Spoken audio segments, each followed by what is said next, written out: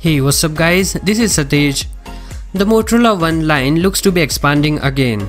The first Motorola One device launched nearly a year ago with the name Moto One Power. Last month, the Motorola One Vision was launched and it featured the company's first punch hole display. The next device looks to be Motorola One Action. The One label relates to all these devices running Android One, so that makes one thing clear that it will have close to stock Android.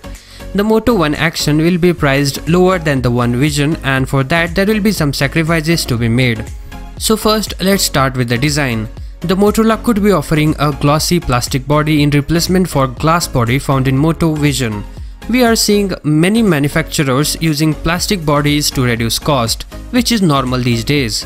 On the front, the render reveals that the Motorola One Action will flaunt a punch hole display just like the One Vision and it will feature a 6.3 inch screen with a resolution of 2520 into 1080 pixels giving you that same 21 to 9 aspect ratio.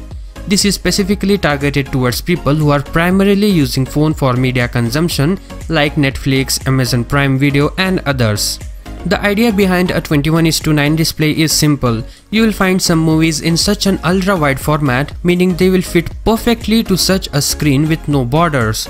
Problem is, there's also a whole lot of other content that's made in 18.5 is to 9, 16 is to 9 and other aspects, which will mean that elongated screen format backfires for a lot of content. And talking about the screen dimensions, it's more of a tall than wide, so it might feel weird to hold at least in the beginning. The phone will utilize the Samsung's Exynos 9609 processor aided by a Mali G72 GPU. This chip is just the underclocked version of Exynos 9610. The big picture here is these both chips are not that powerful, it's comparable to Snapdragon 660 processor which is becoming obsolete now. The main highlight for this phone will be cameras. Interestingly, One Vision which was launched just had two cameras and for Moto Action there are reports suggesting that it will have a triple camera setup. The primary shooter at the rear will be a 12.6 megapixel sensor and a 117 degree wide angle lens and a depth sensor. The device will also become equipped with a 12.6 megapixel sensor for selfie. The battery will be a 3500 mAh but no information is available on fast charging. The handset will come in 3GB and 4GB RAM variants and 32GB, 64GB and 128GB storage options. USB Type-C and 3.5mm headphone jack will also be supported.